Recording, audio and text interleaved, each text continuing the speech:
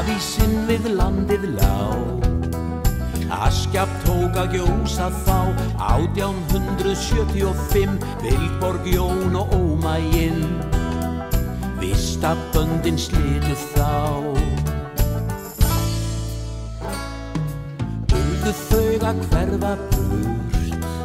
Í dal og heiði döð hverjurt Repstjórinn í vegi stóð. Seitna ort var um það ljóð Ekkert þeim hjæltum kjurt Þá bara gardi agent einn. Ykkur býð ég far mælti sveit Yfir hafið blátt í vestur átt Þar sem menn og jörð lifi sátt. Og ekki þarf að svelta nei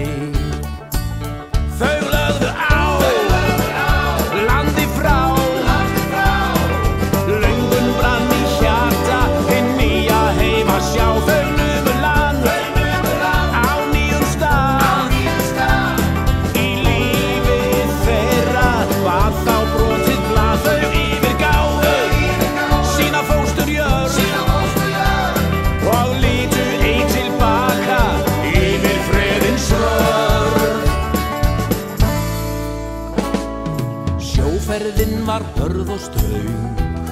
Yfir hafið er jú leiðin löng.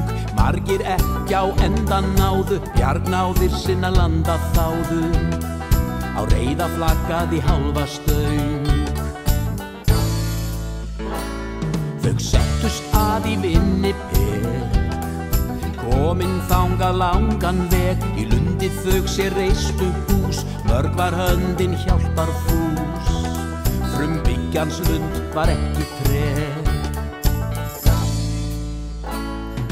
Börnin Jóns og Vilborgar Í vestur heimi fundu svar. Í norðri vísbögg áttur land Þar áar þeirra sild í strand.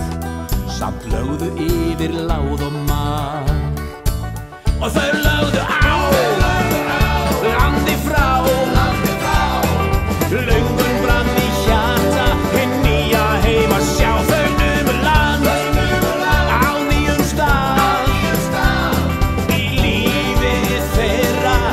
Został w błocie plaży